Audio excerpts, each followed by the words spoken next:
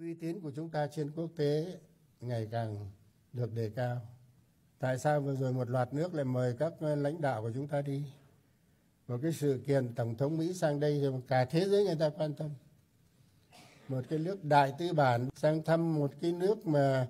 cộng sản một trăm phần trăm thừa nhận cái chế độ của chúng ta mà lại theo lời mời là, là mời của ông tổng bí thư của một đảng cộng sản mà trước kia đã mang quân sang đây đánh chúng ta cho nên nó có ý nghĩa vô cùng sâu sắc Kính thưa quý vị, trong 9 tháng kể từ năm 2023 đến năm 2024,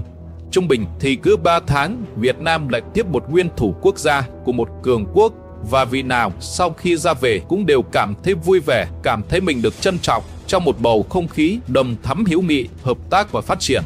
Thậm chí là chuẩn từng ly với cả ba cường quốc. Chính vì vậy, Việt Nam đã làm cả thế giới phải trầm trồ vì trên thế giới chưa có nước nào làm được như thế. Đó là những lời nhận xét của các học giả quốc tế về ngoại giao của Việt Nam. Có thể nói, ngoại giao cây tre Việt Nam thực sự đã lên một tầm cao, là một thành tích đáng để đi vào lịch sử. Vậy tại sao Việt Nam lại có thể làm được những điều mà nhiều nước trên thế giới không làm được như thế? Và vì sao chúng ta phải cân bằng cả ba cường quốc? Thì chúng ta cùng tìm hiểu phân tích qua video số này.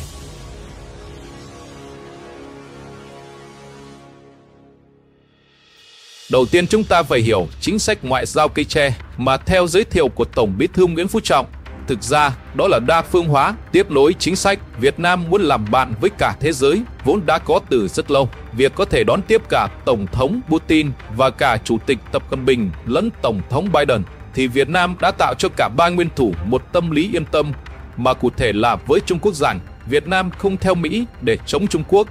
còn với Mỹ thì Việt Nam sẽ không vào hùa với Trung Quốc để chống Mỹ. Bằng chứng là Việt Nam vẫn khẳng định chủ quyền của mình một cách rất quyết liệt trên Biển Đông, cũng như không ngại va chạm với các tàu chấp pháp của Trung Quốc. Còn với Tổng thống Putin thì rất thoải mái. Việt Nam đã đón tiếp một người đang bị tòa án ICC truy nã và đảm bảo an ninh trong nguyên thủ này ở mức cao nhất Thế nhưng là một điều là Mỹ lại không giận Việt Nam, thậm chí là phía ngoại giao Mỹ còn khẳng định rằng quan hệ giữa hai nước chưa bao giờ tốt đẹp như bây giờ. Ngay sau khi tiếp Nga, Mỹ cử ngay Ngoại trưởng đến Việt Nam.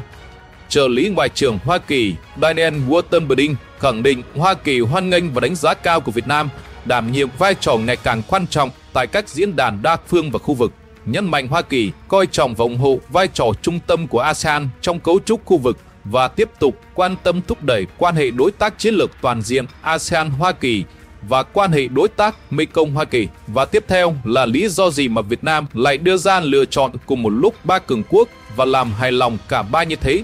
Sở dĩ Việt Nam chọn cách làm này là bởi vì chúng ta có nhiều lý do để làm điều đó và chúng ta có khả năng để thực hiện những điều này. Thứ nhất là an ninh cho chế độ, thứ hai là bảo vệ lãnh thổ và thứ ba là duy trì một bầu không khí hòa bình và ổn định trong khu vực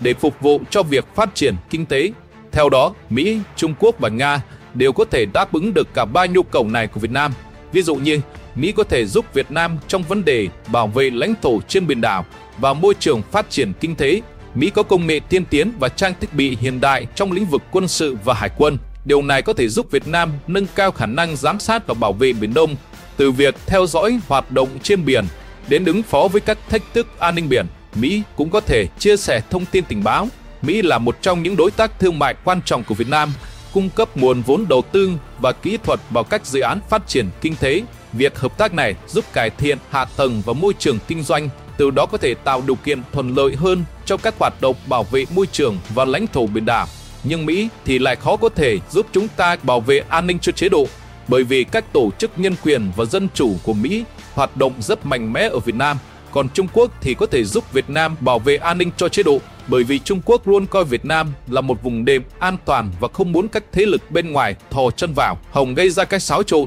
Quan hệ Việt Nam Trung Quốc có bề dày lịch sử lâu đời, trải qua nhiều giai đoạn thăng trầm, trong đó có cả mâu thuẫn và hợp tác. Vị trí địa lý của Việt Nam nằm sát biên giới phía Nam Trung Quốc, đóng vai trò quan trọng trong chiến lược an ninh của Bắc Kinh tham vọng mở rộng ảnh hưởng và sức mạnh của Trung Quốc trong khu vực, đặc biệt là Biển Đông, khiến Việt Nam trở thành điểm tựa địa chính trị quan trọng. Trung Quốc xem Việt Nam như vùng đệm an toàn nhằm bảo vệ lãnh thổ phía Nam khỏi các mối đe dọa tiềm ẩn, đặc biệt là từ Hoa Kỳ và các đồng minh. Trung Quốc mong muốn duy trì sự ổn định chính trị tại Việt Nam để tránh xung đột trực tiếp với các cường quốc khác trong khu vực. Một chế độ thân thiện với Trung Quốc như hiện nay ở Việt Nam vẫn tốt hơn là các thể chế thân phương Tây do Mỹ dẫn đầu chẳng hạn như Philippines. Nhưng chắc chắn một điều là Trung Quốc không thể bảo vệ lãnh thổ Việt Nam vì chính Trung Quốc là kẻ đang gặp nhóm lãnh thổ của Việt Nam. Nếu như chúng ta sơ hở, tiềm ẩn nguy cơ xâm phạm chủ quyền và lợi ích quốc gia của Việt Nam, còn Nga thì có thể giúp bảo vệ an ninh cho chế độ ở Việt Nam qua các hợp đồng giao dịch vũ khí quân sự lẫn dầu khí. Cùng với đó, Nga cũng giúp Việt Nam bảo vệ Biển Đông thông qua hợp tác khai thác dầu khí, đặc biệt là khu vực bãi tư chính, nơi mà Việt Nam đang kéo thêm giàn khoan để bảo vệ chủ quyền, đồng thời khẳng định chủ quyền hợp pháp của mình thông qua sự hiện diện trên vùng biển đặc quyền kinh tế đồng thời có thể nhận lại giá trị kinh tế cũng như sự công nhận chủ quyền của các quốc gia tham gia hợp tác. Hiện tại, Việt Nam đang có những dự án hợp tác thăm dò dầu khí của Nga tại Biển Đông.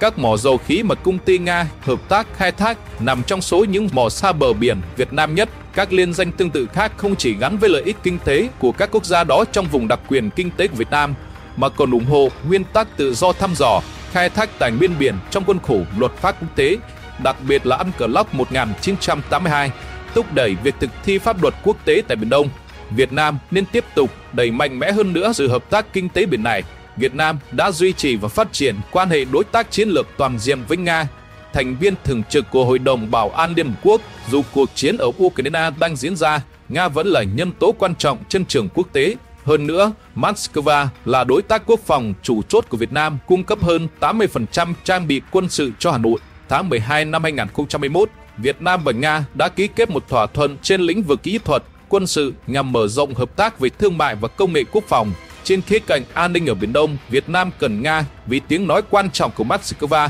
trong tam giác quan hệ Nga-Việt Trung. Nhìn chung, cơ hội thúc đẩy hợp tác song phương dựa trên mối quan hệ truyền thống giữa Việt Nam và Nga dù nhỏ hay tương đối mờ nhạt vẫn là vấn đề mà Việt Nam cần phải tính đến, nhưng Nga lại không thể đảm bảo cho Việt Nam có một môi trường thương mại thuận lợi,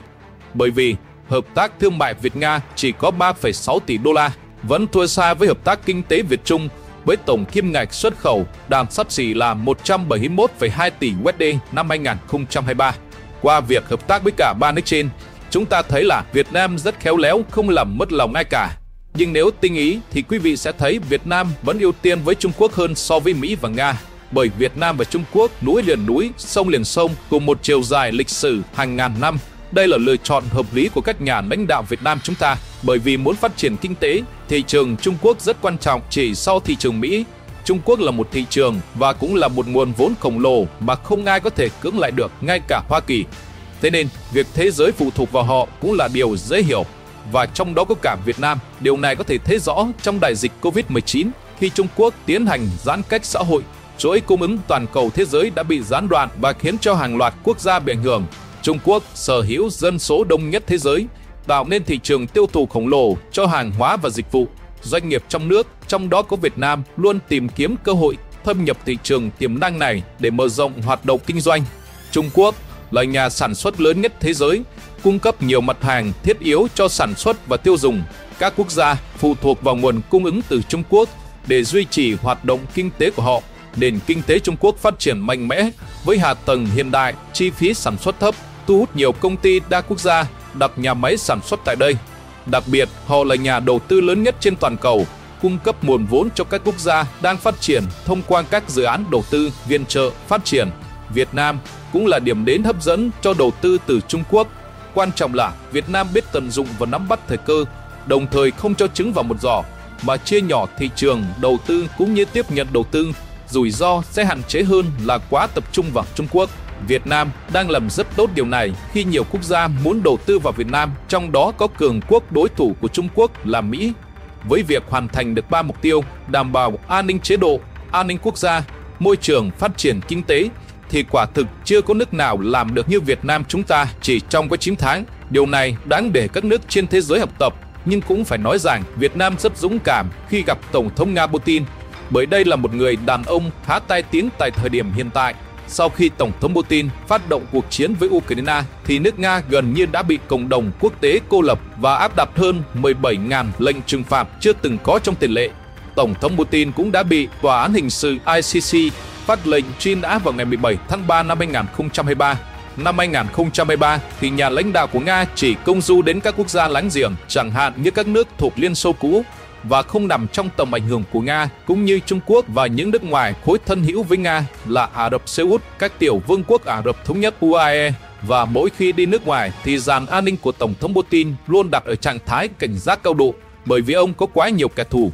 Các chuyên gia cho rằng ông Putin đến Việt Nam cùng với Trung Quốc và Triều Tiên là một phương pháp giúp Nga tái định hình lại mối quan hệ với thế giới và cố gắng thắt chặt các mối quan hệ sẵn có để giảm thiểu các tác động của các chính sách được gọi là thù địch cấm vận của phương Tây. Việt Nam thì ngày càng trở nên quan trọng với Nga, vì hiện nay Nga không có nhiều bạn bè trên thế giới. Bản thân của Nga hiện nay chỉ có một số nước gần Nga và chịu nhiều ràng buộc như những nước Cộng hòa Trung Á và một số nước Liên Xô cũ. Còn về chính sách quốc phòng thì mối quan hệ tốt đẹp với Nga cũng giúp Việt Nam duy trì khả năng tiếp cận công nghệ vũ khí của Nga trong tương lai. Và trong bối cảnh tình hình thế giới đang có những biến động phức tạp, khó đoán, Nga từ lâu vẫn là nguồn cung cấp vũ khí chính của Việt Nam. Từ máy bay, tàu chiến đến tàu ngầm, công nghệ cao cho đến các xe quân sự và vũ khí thô sơ. Như tờ New York Times đã nói rằng sẽ có một thỏa thuận bí mật giá trị 8 tỷ đô trong hai thập kỷ tới. Một số người cho rằng đây là chủ trương hiện đại của chính phủ Việt Nam và điều này có thể giúp giải thích lý do vì sao ông Putin sang thăm Việt Nam các chuyên gia cho rằng Việt Nam muốn có được máy bay và tàu hải quân mới từ Nga. Lực lượng hải quân Việt Nam rất cần được nâng cấp các trang thiết bị và Việt Nam thực sự muốn có được tên lửa hành trình Bramok đã được phát triển bởi liên doanh Nga-Ấn và nhiều nhà phân tích thì vẫn cho rằng hiện Bắc Kinh đang gây sức ép để Nga không bán những thứ vũ khí nguy hiểm này cho Việt Nam. Trong bối cảnh hiện nay, Nga phải chịu nhiều phụ thuộc vào Trung Quốc bởi cuộc chiến ở Ukraine thì sẽ rất khó có khả năng Nga sẽ đồng ý bán những thứ này cho Việt Nam. Nhưng khách quan mà nói, Việt Nam cần Nga không chỉ ở vấn đề cung cấp vũ khí mà còn là năng lượng và tình hữu nghị lâu dài cũng như chiến lược địa chính trị của Việt Nam. Vì Nga có thể giúp Việt Nam bớt đi những áp lực từ cả Mỹ lẫn Trung Quốc. Việt Nam là một nước nhỏ có vị trí địa lý chiến lược nên chịu áp lực rất mạnh. Việt Nam không muốn ngả theo Mỹ, cũng không muốn ngả theo Trung Quốc thì Nga sẽ giúp Việt Nam giảm bớt áp lực trong vấn đề Biển Đông. Hiện nay, Nga cũng có quan hệ tốt với Việt Nam hơn là với Trung Quốc và điều này sẽ rất có lợi cho Việt Nam chúng ta. Vậy nên, chuyến thăm của Tổng thống Putin tới Việt Nam được xem là lấy lại vị thế của Nga. Chuyến thăm này còn là cơ hội để hai bên ký kết và triển khai các thỏa thuận hợp tác mới tạo động lực thúc đẩy quan hệ song phương. Những thỏa thuận này không chỉ mang lại lợi ích kinh tế mà còn củng cố sự gắn kết về mặt chính trị và chiến lược giữa hai nước. Như chúng ta đã biết, hiện nay các công ty dầu khí của Nga đang hoạt động ở Việt Nam rất nhiều nhịp. Nó góp phần cho Việt Nam giữ vững chủ quyền lãnh thổ ở khu vực Biển Đông. Và nếu Nga giúp Việt Nam trên Biển Đông, thì Trung Quốc sẽ không phản ứng mạnh mẽ. Nhưng nếu Mỹ hay Nhật Bản giúp Việt Nam trên Biển Đông, thì Trung Quốc sẽ phản ứng dữ dội hơn. Còn Nga giúp thì Trung Quốc sẽ có thể chỉ phản ứng ở mức độ tối thiểu mà thôi. Bởi vì dù sao, cả ba nước cũng từng thuộc khối xã hội chủ nghĩa Việt Nam vẫn luôn giữ vững mối quan hệ tốt đẹp với Nga và Trung Quốc và Trung Quốc hiện tại cũng có mối quan hệ lợi ích với Nga. Những động thái mới đây của Trung Quốc khi đưa tàu khảo sát vào các vùng Biển Đông, nơi mà Nga và Việt Nam đang hợp tác khai thác dầu khí nhằm thăm dò động thái của Nga với Việt Nam cũng như tạo chiến thuật vùng xám. Theo nhiều các chuyên gia thì cho rằng động thái của Trung Quốc ở Biển Đông chứng tỏ Trung Quốc đang tìm khoảng trống quyền lực ở khu vực khai thác dầu khí mà Việt Nam và Nga hợp tác. Trong khoa học chính trị, thuật ngữ khoảng trống quyền lực chỉ ra tình trạng ai đó ở vị trí nắm quyền lực nhưng rồi mất quyền kiểm soát một thứ gì đó và không ai thay thế. Trong quá khứ, ở Biển Đông Trung Quốc chỉ hành động khi tìm thấy khoảng trống quyền lực. Vào những năm 1950, khi Pháp rút khỏi khu vực Trung Quốc đã chiếm một nửa quần đảo Hoàng Sa. Vào những năm 1970 thì Mỹ rút khỏi Việt Nam, Trung Quốc đã chiếm thêm một nửa quần đảo Hoàng Sa và cuối cùng năm 1980 sau khi quân đội Liên Xô giảm quân số ở Việt Nam, Trung Quốc đã chiếm 6 thực thể thuộc quần đảo Trường Sa và vào thập niên 1990 sau khi Mỹ rút khỏi Philippines, Trung Quốc đã chiếm đá Vành Khăn. Kể từ năm 2022 đến cuối năm 2023, Nga đang tập trung mọi nỗ lực vào Ukraine. Do đó, không có khả năng Nga đang ngăn chặn mà Nga lại dựa vào Trung Quốc nhiều hơn. Thu nhập của Nga dựa vào xuất khẩu tài nguyên thiên nhiên, nhưng do lệnh trừng phạt chống lại Nga, Trung Quốc là nước nhập khẩu tài nguyên thiên nhiên chính từ Nga Ngoài ra, vì thiếu nguồn lực, Nga cần hỗ trợ vật chất từ Trung Quốc để tham gia cuộc chiến ở Ukraine. Giờ đây đối với Nga, Trung Quốc là một đối tác rất quan trọng.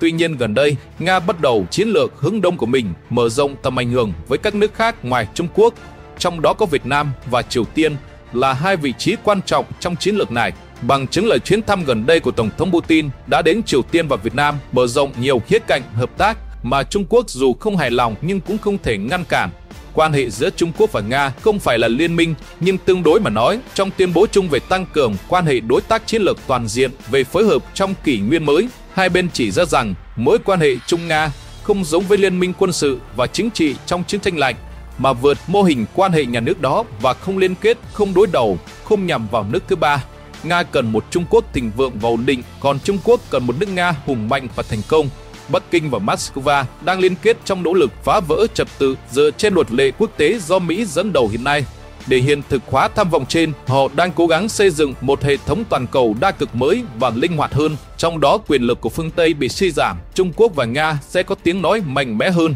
Nga dù sao vẫn là một cường quốc, về kinh tế đang gặp chút khó khăn do cấm vận thương mại, nhưng các lệnh trừng phạt mà Mỹ gọi là địa ngục đã không xé nát nền kinh tế Nga thành từng mảnh, mà ngược lại GDP của Nga tăng trưởng trong cả các năm 2022, 2023 và 6 tháng đầu năm 2024. Điều này cho thấy đang lấy lại vị thế của mình, tạo thành một trụ vững trong chiếc kiềng ba chân Mỹ-Nga-Trung.